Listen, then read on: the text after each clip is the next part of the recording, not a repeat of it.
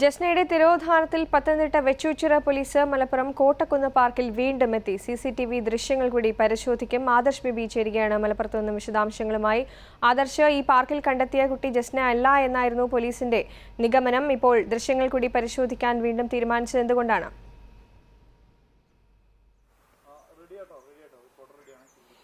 Sheethal May മൂന്നിന് മലപ്പുറം കോട്ടക്കുന്ന് പാർക്കിലെത്തിയത് ജസ്നയല്ല എന്ന് police ഏറെക്കുറെ സ്ഥിരീകരിച്ചു കഴിഞ്ഞു. കാരണം ജസ്നയെ കണ്ടു എന്ന് സംശയം പ്രകടിപ്പിച്ച സെക്യൂരിറ്റി ജീവനക്കാരന്റെയും ഈ പാർക്കിലെ സമീപവാസിയെ ജസ്വറിന്റെയും മൊഴി ഇന്നലെ തന്നെ രേഖപ്പെടുത്തിയിരുന്നു. ജസ്നയുടെ ഫോട്ടോ കാണിച്ചാണ് രണ്ടുപേരോടും കാര്യങ്ങൾ ചോദിച്ചറിഞ്ഞത്.